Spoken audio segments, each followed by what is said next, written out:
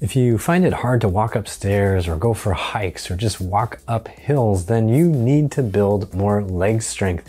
So in this video, I'm going to explain four exercises that'll help you build stronger legs, that'll strengthen your legs so you're able to walk upstairs, walk up hills, and go for hikes without pain. By the end of this video, you're going to understand how to do these four exercises and why you should start them today. And I'm also going to explain how to avoid getting hurt, how, how often to do these exercises so that you can get back to moving and grooving the way you know you should be able to. So let's get ready to think right, move right, and feel right. Let's jump right into these leg strengthening exercises, but please remember before you start any exercise that form is paramount. You must try to do these exercises well, do them with control so that you don't get hurt. If you find that you're doing a couple reps and then you just are too tired to do it right anymore, then do the smart thing and just stop. Take a rest. Don't be a dummy and hurt yourself because you are trying to impress absolutely nobody with your ability to get one more rep. The first exercise is step ups. Start with a small step or a box or even the sidewalk to start building your ability to step up onto higher surfaces. Leaning forward and keeping your weight forward in your feet will be more like hiking and walking upstairs. Make sure your knee is always under your conscious control. Don't let it wobble in or out wildly. Fire your glutes to stop your knees from caving in. But don't overdo it, don't overcompensate so that your knee is wobbling all the way out to the side. It's totally okay to practice a little deviation in or out as you get more familiar with this exercise. That'll actually injury proof you because you'll have control when you're in less than perfect situations. Do sets of 8 to 15 repetitions on each side.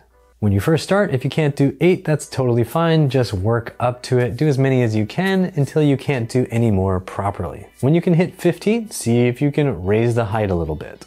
Another way to build leg strength more quickly is to hold onto a weight while you do this exercise. Just make sure that it's a weight that's not so heavy that your form deteriorates. Your body builds strength when it's pushed just a little bit beyond its current abilities. So again, if you find you can do 15 reps on each leg with no problem and you want to make it harder, then you can try doing the exercise holding on to 5 or 10 pounds so that your leg muscles have to work harder.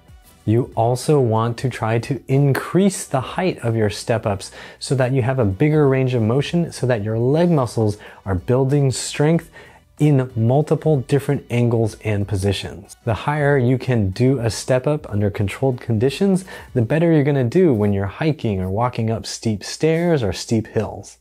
Now to help you build more range of motion in your hips, we're gonna look at the next exercise. Hey, I just wanted to say thank you to HockeyMom46 for her second donation to support the Upright Health channel. This time she gave $5 and I really, really appreciate it. Thank you so much. If you'd like to support this channel, use that thanks button or the PayPal link down in the description box. Thanks, let's get back to it.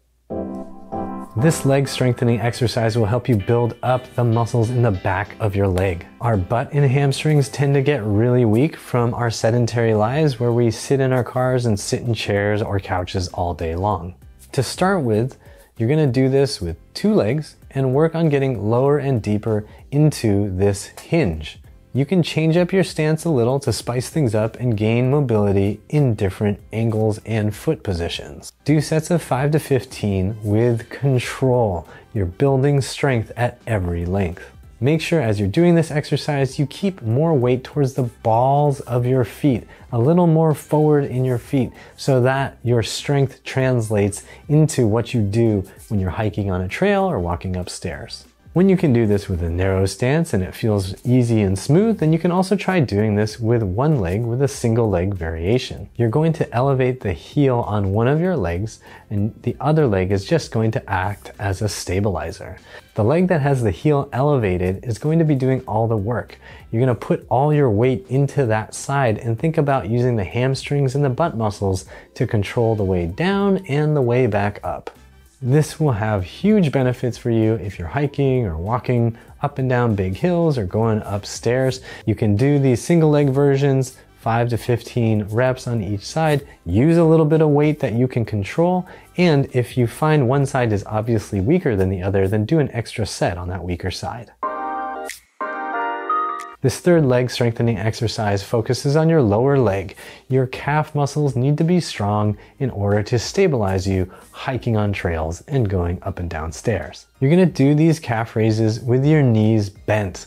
Find a step or something you can hang your heels off of and do sets of 15 to 30 reps with control and with a full range of motion. You want your heels to drop fully down as far as they can and get a nice good stretch. When you first start these, you may find your ankles are really stiff and your calf muscles are really weak and stiff. So that's okay. Just keep working on it. Do as many as you can without it getting crazy intense, and then just let yourself gradually build the strength to do these calf raises. If you don't have a step available, that's totally fine. Just lean yourself against the wall with your hands against the wall, and you'll find that at the right angle, you can get a very full range of motion. As you get better at this exercise and your calf muscles are getting stronger, you can shift this into single leg work. Do one leg at a time, and if you find that one side is obviously weaker than the other, then do an extra set for that weaker side.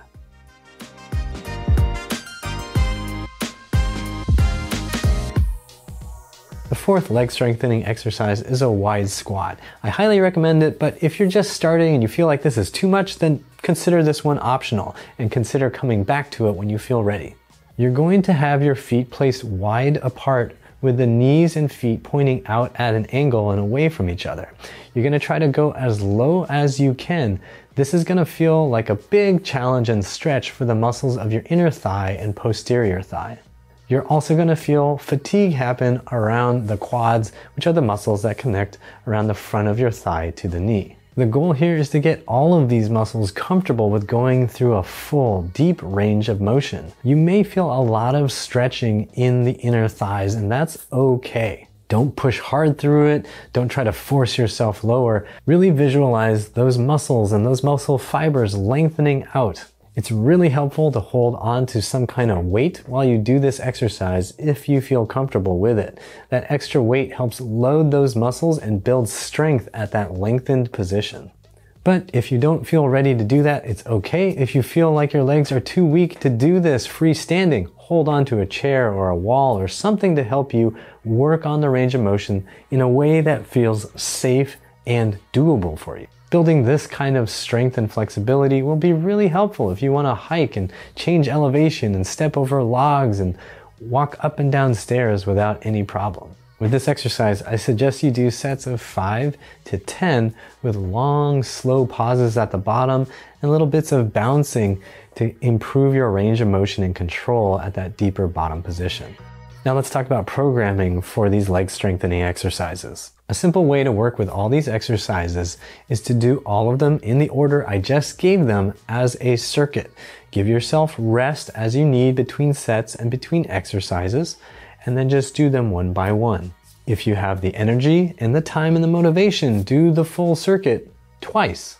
That would be a full workout. Do the full workout once or twice a week. If you're doing it twice a week, then make sure that you allow at least two days of rest in between the times you do the full workout. So that might be Monday or Thursday, it might be Tuesday or Friday, whatever works for you is okay. What you don't want to do is Monday, Tuesday. That is not a good idea.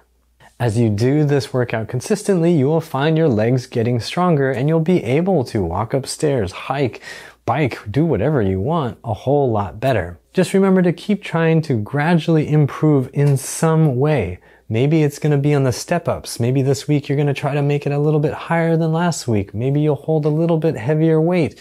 Maybe with the wide squats, you're going to try to go a little deeper. You want to keep looking for small bits of improvement somewhere within the workout every single week. And while you're doing all this, if you're missing the ability to go on long hikes and you're thinking maybe I should go on a 20 mile hike or a 30 mile run or whatever, it's important to remember that you want to have good strength and control before you start doing a whole lot of stuff that requires a lot of endurance.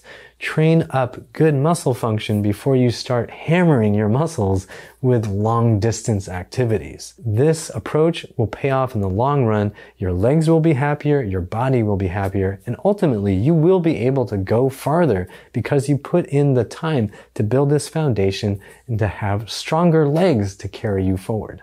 Also, remember that form is very important. If you're doing the exercises and you're too tired to do it right, and your life doesn't depend on it, it just stop. Now you have the tools you need to build leg strength for something simple and enjoyable, like going for a hike or a walk. If you found this video really helpful and you want to support this channel, hit that thanks button and leave me a tip. And I promise I will not use your money to go buy a horse to poop and pee and trample all over your favorite hiking trip. And if you don't want to leave me a tip, that's totally fine. Just click the like button, share this video, subscribe with notifications on, drop me a comment down below and let me know which of these exercises was the toughest for you? I'd like to see it down in the comment section. And as always, I'm Matt Hsu from Upright Health, reminding you that pain sucks, life shouldn't.